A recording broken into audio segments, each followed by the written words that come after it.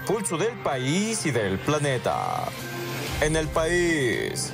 Durante el pasado fin de semana, entre el viernes 12 y el domingo 14, se cometieron 214 homicidios dolosos en el país, de los cuales 28 ocurrieron en el Estado de México, entidad que se ubicó en primer lugar de acuerdo con cifras del Secretariado Ejecutivo del Sistema Nacional de Seguridad Pública.